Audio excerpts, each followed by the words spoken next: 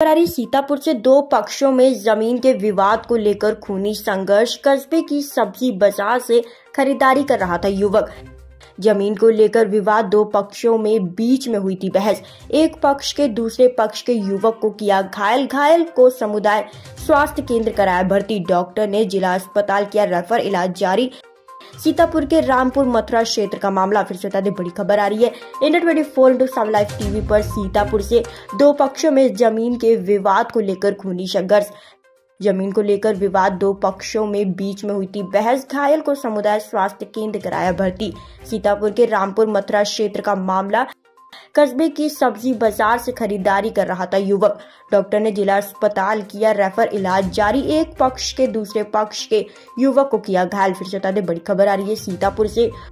दो पक्षों में ज़मीन के विवाद को लेकर खूनी संघर्ष। कस्बे की सब्ज़ी बाज़ार से खरीदारी कर रहा था युवक। ज़मीन को लेकर विवाद दो पक्षों में बीच में हुई थी बहस।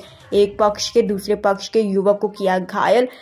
घायल को समुदाय स्वास्थ्य केंद्र कराया भर्ती। डॉक्टर ने जिला अस्पताल किया रेफर। इलाज जारी। सीतापुर के रामपुर मथुरा क्षेत्र का मामला। India twenty four into TV पर ब्यूरो रिपोर्ट।